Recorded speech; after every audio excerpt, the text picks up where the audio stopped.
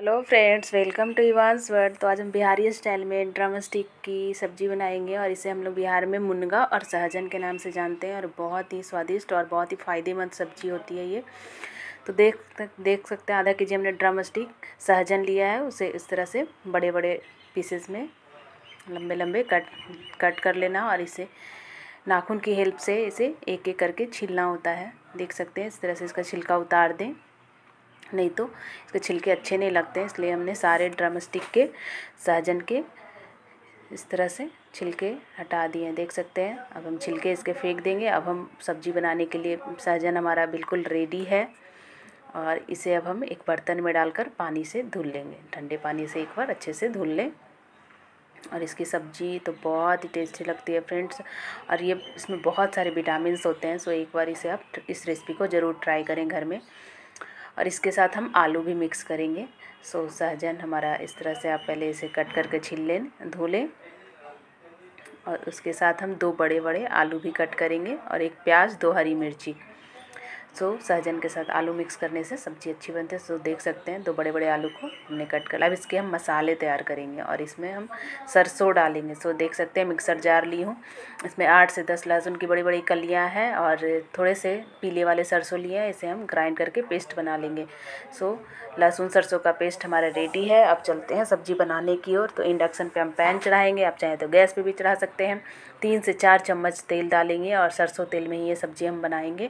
तेल अच्छे से गर्म हो जाए, उसके बाद चुटकी भर जीरा डालेंगे। जीरा भी चटकने के बाद जो हरी मिर्ची, दो रखी थी हमने, हरी मिर्ची डालेंगे। सो, हरी मिर्ची थोड़े से जीरा फ्राई हो जाए, उसके बाद जो हमने एक प्याज करके, कट करके रखा था, प्याज डालने के बाद दो मिनट भूनेंगे, उसके बाद हम आलू डालेंगे। सो, आलू डालने के बाद आलू को भी हाई फ्लेम पे ही, और ये सब्ज़ी हम हाई फ्लेम पे ही बनाएँगे, और उसके बाद हम सहजन भी डाल देंगे। सहजन डालने के बाद इसे दो से चार मिनट तक हाई फ्लेम पे हम भूनेंगे और इसके बाद हम इसमें नमक और हल्दी डालेंगे। सो, हल्दी डालने के बाद नमक, स्वादानुसार नमक डालें और फ्लेम हाई रखें। हाई फ्लेम पे ही हम ये सब्ज़ी बनाएँगे ड्रम स्टिक की सब्ज़ी, सहजन मुनगा की करी। और इसे आप चावल के साथ खाएँ, रोटी के साथ खाएँ, बहुत ही स्वादिष्ट लगते हैं। सो, अब हमने जो पेस्ट बना के रखा था, लहसुन सरसों का, वो डालेंगे। मसाले और इसमें लहसुन सरसों का पेस्ट ज़रूर डालें क्योंकि इसी से सब्ज़ी का टेस्ट बिल्कुल मछली के स्वाद जैसा आता है। एक बार आप इसे ज़रूर ट्राई करें। सो so, अब हम लहसुन सरसों क्योंकि लहसुन और सरसों दोनों हमारा कच्चा था इसलिए हम इसे भूनेंगे। सो so, मीडियम फ्लेम पे हम 10 मिनट तक इस तरह से ढककर भूनेंगे। बीच बीच में आप ढक्कन हटाकर चलाते रहें तब तक जब तक कि लहसुन और सरसों का कच्चापन न चला जाए। सो मसाले अच्छे से भुने रहेंगे तो सब्ज़ी अच्छी बनेगी। सो इस तरह से हम मीडियम फ्लेम पे भूनेंगे, थोड़ी देर भूनने के बाद अब हम इसमें सूखे मसाले डालेंगे। सूखे मसाले में हम देख सकते हैं इसमें हम क्या क्या डालेंगे। इसमें एक चम्मच हम डालेंगे धनिया पाउडर, एक चम्मच जीरा पाउडर, एक चम्मच कश्मीरी लाल मिर्च पाउडर, एक चम्मच गरम मसाला पाउडर। सो इन सब चीज़ घर में इजली अवेलेबल होते हैं। यही सब मसाले हम इन सब्जियों में डालेंगे, सहजन की सब्ज़ी में। सो और लहसुन सरसों का पेस्ट तो हमने डाल लिया था। उसी से इस करी की टेस्ट बहुत ही अमेजिंग आती है।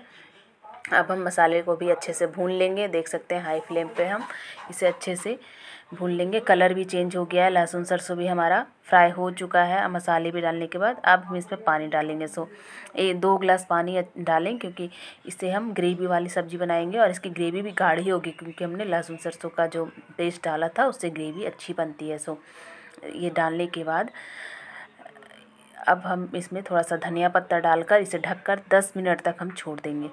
10 मिनट तक मीडियम फ्लेम पे ताकि आलू भी अच्छे से कुक हो जाए और सहजन भी पक जाए।